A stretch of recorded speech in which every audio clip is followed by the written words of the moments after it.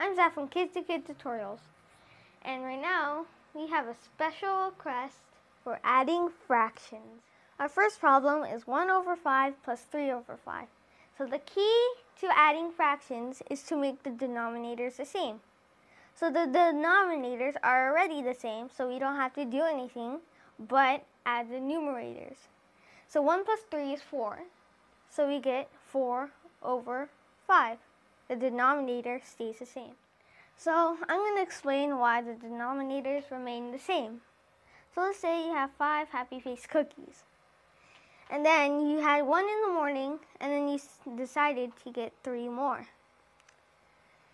Ah, so if you add those, one, two, three, four, you had four out of the five cookies. There was only five cookies, and you took four.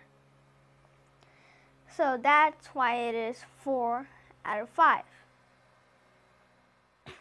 So now we have 1 over 4 plus 1 over 8. So like the last problem, the denominators have to be the same. But this time they're not. So the easiest way is to look at the big denominator and see if this one goes into that one. So right now it does because 4 times 2 is 8. So we multiply 2 by this fraction, and remember, what you do to the bottom, you must also do to the top. So you have 2 over 8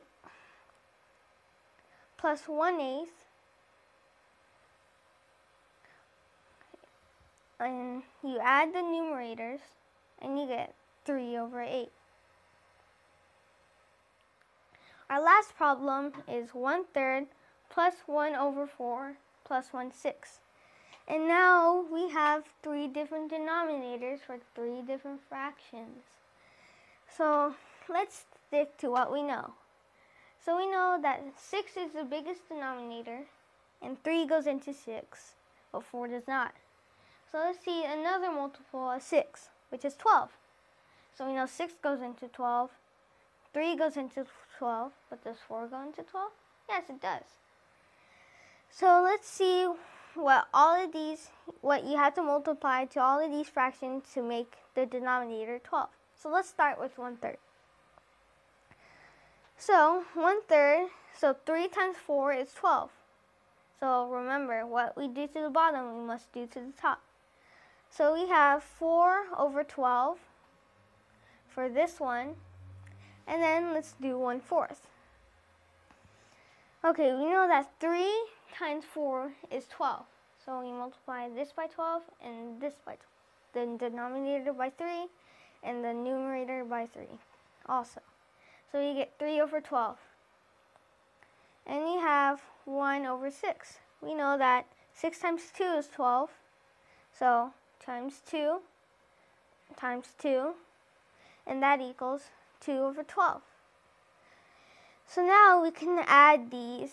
So we have 4 over 12 and 3 over 12 and 2 over 12.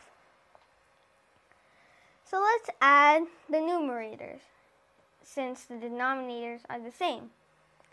So 4 plus 3 is 7 and 7 plus 2 is 9. So we have 9 over 12.